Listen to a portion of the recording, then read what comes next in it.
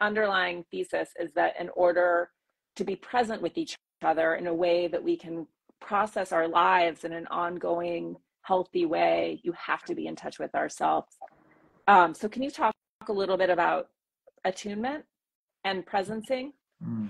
many layers where my attunement starts with myself. I presence my own experience. I'm aware of what comes up in me when i speak to you and then i can feel the space in between us and then i can feel you and then there's like a data flow and attunement I said this in another context that when two cars drive on the highway and you drive at the same speed, you can actually open the window and talk to each other.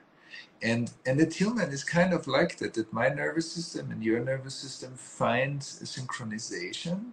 And in that sweet spot, we can that's the data connection.